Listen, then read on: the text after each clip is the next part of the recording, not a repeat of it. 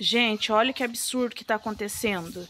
Aqui na rua Maringá, ontem a minha mãe já salvou outro gato que envenenaram. Olha que judiação. Ela deu remédio, colocou limão na boca do outro e sarou. Esse daqui não tá tendo jeito, não. Olha pra vocês verem, estão matando todos os gatos, todos os cachorros daqui da rua Maringá. Olha que dó. Estão veneno.